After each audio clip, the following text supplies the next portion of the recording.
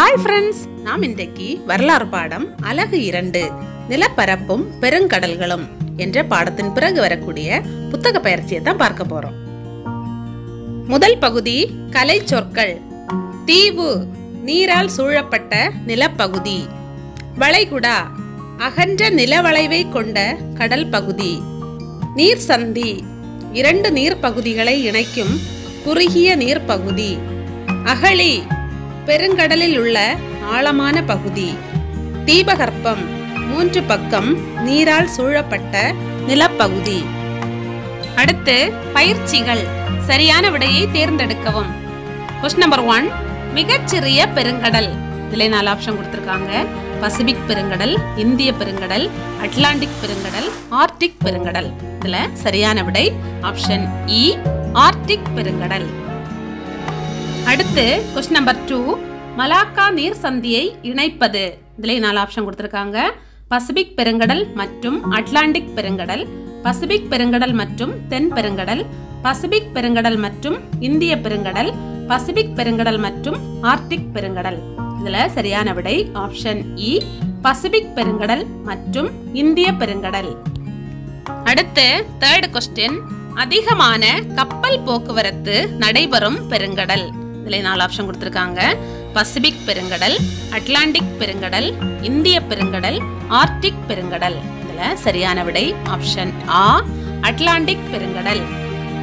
அடுத்து fourth question குறைந்த கண்டம். இதில் நாலு ஆப்ஷன் இருக்கு. வட அமெரிக்கா ஆஸ்திரேலியா அண்டார்டிகா ஆசியா. இதில் சரியான விடை ஆப்ஷன் இ e, அண்டார்டிகா. அடுத்த பகுதி கோடிட்ட இடத்தை நிரப்புக. இதுல ஐந்து வினாக்கள் இருக்கு.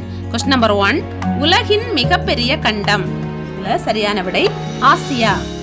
அடுத்து கொஸ்டின் நம்பர் டூ இந்தியாவில் கனிம வளம் நிறைந்த பீடபூமி டேஷ் சரியான விடை Chhota Nagpur.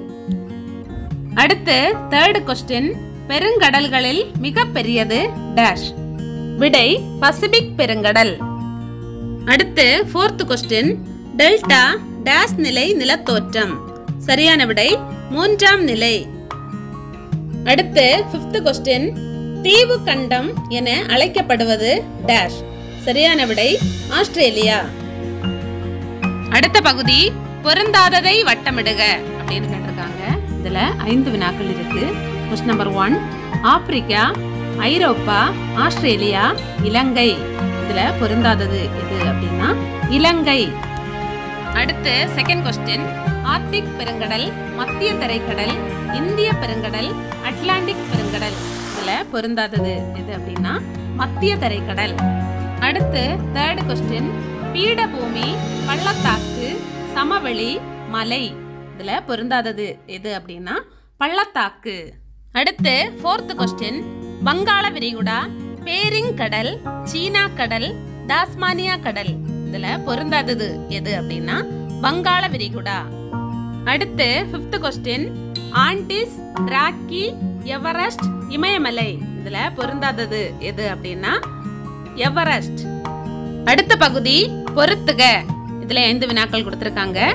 Question number one தென் சாண்ட்விச் அகழி தென் பெருங்கடல். மில்வாக்கி அகழி அட்லாண்டிக் பெருங்கடல்.